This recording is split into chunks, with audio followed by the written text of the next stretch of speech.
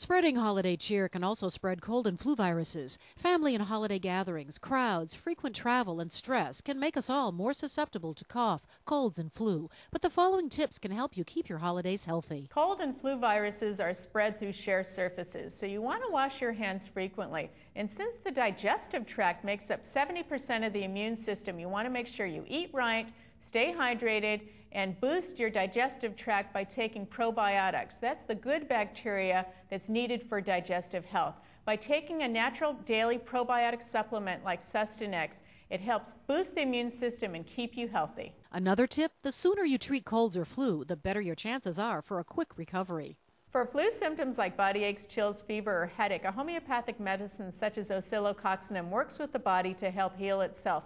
It's natural, safe for ages from 2 to 102, and there's no side effects. For more health tips for the holidays, visit oscillo.com and sustenex.com.